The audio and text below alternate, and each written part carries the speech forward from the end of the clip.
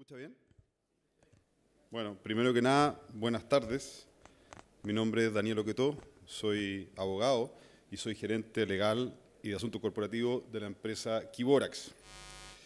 Eh, primero que nada, tengo que pedirles disculpas a todos porque precisamente yo no soy un experto en energía renovable, pero sí nos pareció interesante eh, contarles nuestra experiencia porque finalmente uno viene a estas conferencias a aprender un poco y nosotros como una empresa minera no metálica, eh, relativamente modesta en el ámbito de la gran minería en Chile, pero sí relevante a nivel mundial en lo que producimos, que son borato y ácido bórico.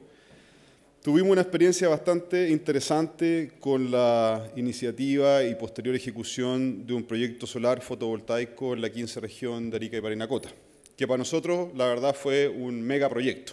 ¿ah?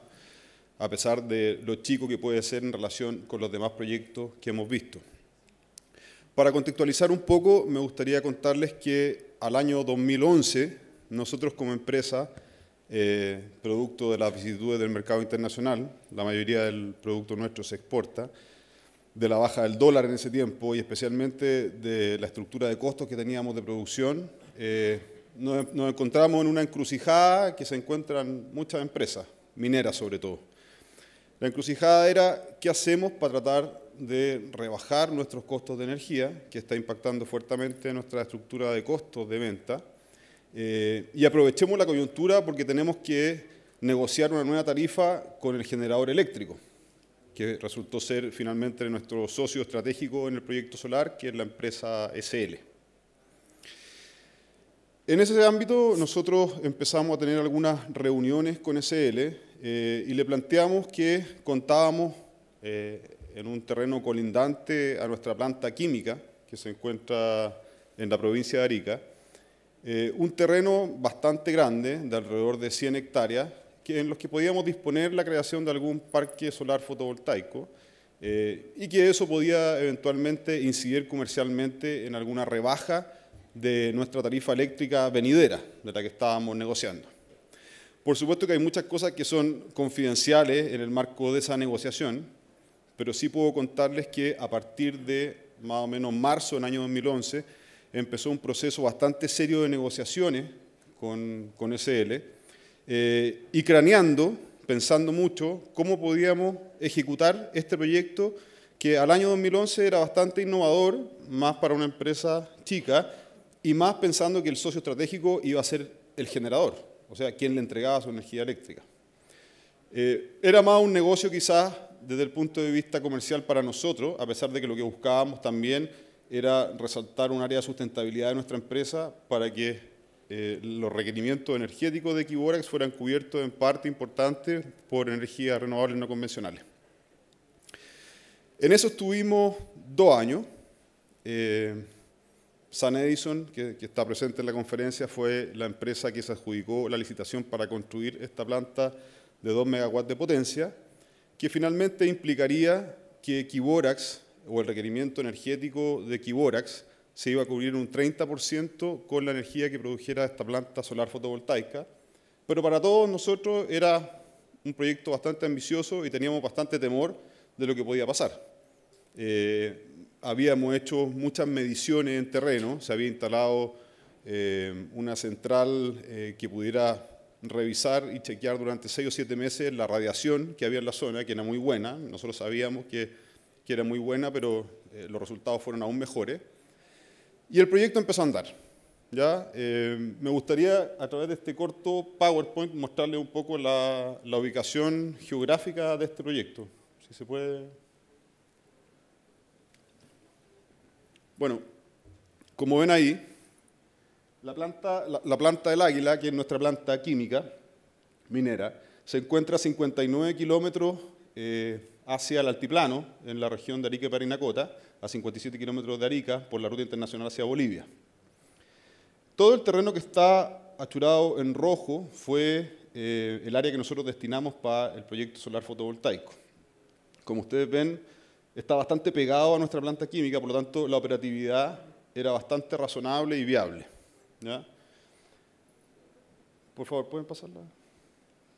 Cuando nosotros decidimos eh, instar por la, por la construcción del proyecto, eh, lo primero que se nos vino a la cabeza es eh, qué posibilidades teníamos de rebajar nuestra tarifa a través de lo que produjera la planta solar fotovoltaica.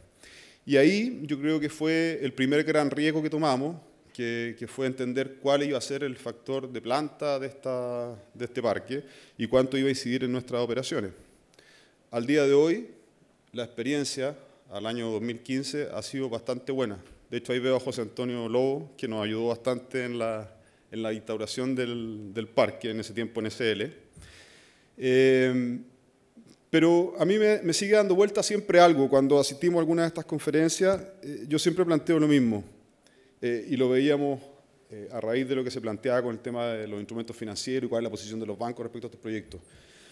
Yo creo que lo que más uno aprende en la instauración de estos proyectos es que la normativa está bastante divorciada de la práctica.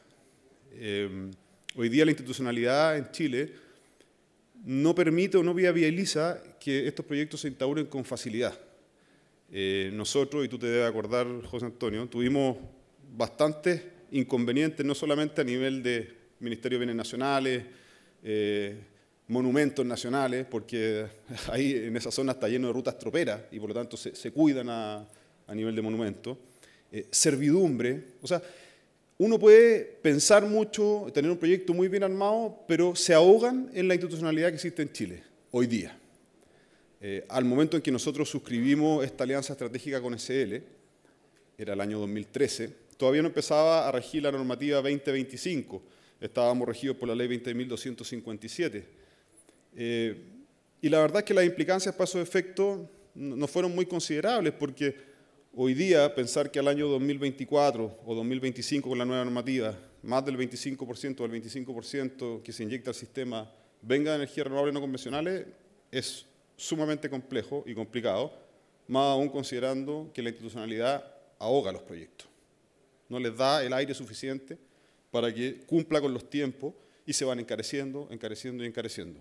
Ahora, dicho eso, hoy día para nosotros la experiencia es sumamente positiva eh, el parque funciona extremadamente bien. Todo lo que produce el parque eh, en un mes, a nosotros se nos imputa la tarifa y por lo tanto desde el punto de vista comercial, a nosotros nos favoreció nuestra estructura de costos. Eh, hoy día somos más competitivos que antes porque nuestra tarifa eléctrica bajó y desde ese punto de vista se cumplió el primer gran objetivo. El segundo, que es la sustentabilidad de las operaciones, también se ha cumplido con creces porque el 30% de los requerimientos energéticos de Equiborax hoy día se suplen con energías renovables no convencionales. Y eso no cualquier empresa lo puede decir y para nosotros nos llena de orgullo. Quisiera, para contextualizar aún más, me gustaría pasar un, un video, que es muy corto, no se asusten, que es un video con el que nosotros promocionamos el proyecto, que fue inaugurado en julio del 2013 por los ministros de Minería y Energía. ¿Se puede?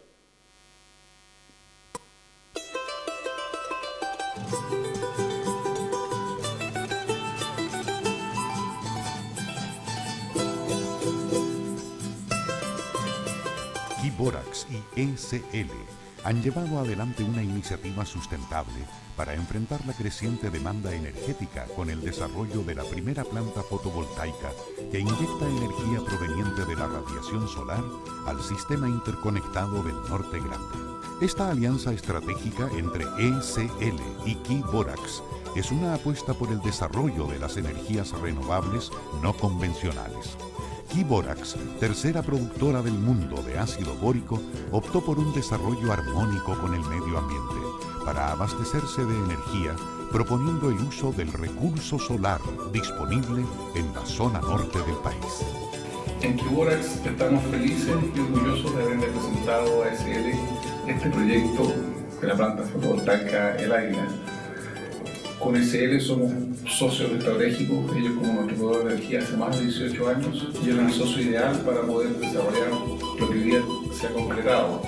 SL, la principal generadora eléctrica del Norte Grande, aceptó de inmediato el desafío y desarrolló un innovador proyecto fotovoltaico que aprovecha las excelentes condiciones presentes en Arica. SL es parte del grupo de GDF Suez está muy orgulloso de presentarle esta primera planta fotovoltaica de 2 megawatts eh, que fue posible debido a una asociación entre SL y Kiborax para desarrollarla. Eh, no solamente eso, sino que tenemos una nueva expansión que queda colindante a esta de 40 megawatts de potencia que estamos prontos a obtener la aprobación ambiental. SL no solamente se dedica a construir centrales tradicionales, también estamos enfocados a las energías renovables y por lo tanto para nosotros es muy importante tener diversidad de, combustible para la seguridad del suministro eléctrico de la región. La planta El Águila está compuesta por más de 8.000 módulos fotovoltaicos con una potencia instalada de 2 megawatts y genera electricidad prácticamente en forma directa desde la radiación solar que recibe en las celdas fotovoltaicas que conforman los paneles solares. La agrupación de miles de paneles es lo que permite entregar cantidades relevantes de energía al zinc. Además de la energía que recibe Kiborax para su funcionamiento, el proyecto energético sirve también para la capital regional, que actualmente cuenta con una población de más de 210.000 habitantes y que en el último tiempo se ha levantado como un importante polo de desarrollo del norte grande del país. La energía generada por esta planta, equivalente al 5% de la demanda de la región de Arica y Parinacota o al consumo de energía eléctrica de 2.300 familias, permite disminuir las emisiones de CO2 en 4.000 toneladas por año, comparable a las emisiones de aproximadamente 1.700 automóviles durante este mismo periodo. En adelante, SL y Kiborax continuarán apostando por el desarrollo de una industria sustentable con este y otros proyectos de energía renovable que les permitan contribuir con responsabilidad al medio ambiente y al norte grande del país. Bueno, como ven, eh, fue un proyecto bastante romántico además, el final lo demuestra. Eh, nos embarcamos todo en algo que fue muy nuevo, eh, muy riguroso además. Eh, personalmente para mí como abogado, habiendo sido muchos años abogado litigante y después de haber pasado al mundo empresarial, eh, fue una novedad, pero también fue chocante toparse con, la, con el aparataje público y como les decía anteriormente, con, con las dificultades que se ponen para que estos proyectos sean viables, hasta para una empresa mediana o chica como nosotros en el ámbito de la minería nacional. Eh, ¿Qué es lo que pasó después? Hoy día efectivamente nosotros estamos estudiando la posibilidad de expandir ese parque solar fotovoltaico eh, y llegar eh, a 40 megas. Ello implicaría básicamente que nuestra planta química funcionaría, en un hipotético caso, solo con energías renovables no convencionales. Y, la verdad es que ese es el target que nosotros nos hemos puesto para el próximo año. También hemos estado evaluando un proyecto fotovoltaico en la región de Atacama.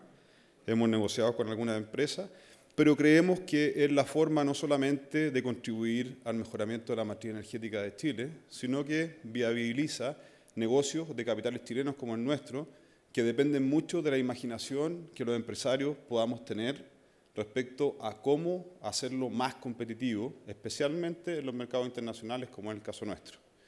Eh, mucho más no les puedo comentar porque eso, las variables comerciales de, la alianza que tuvimos con, con, SL son confidenciales y por lo tanto no las puedo tocar. Pero la experiencia ha sido buena, eh, nuestros requerimientos energéticos están cubiertos en un gran porcentaje por energías renovables no convencionales y pensamos ampliar eso en el futuro. Muchas gracias.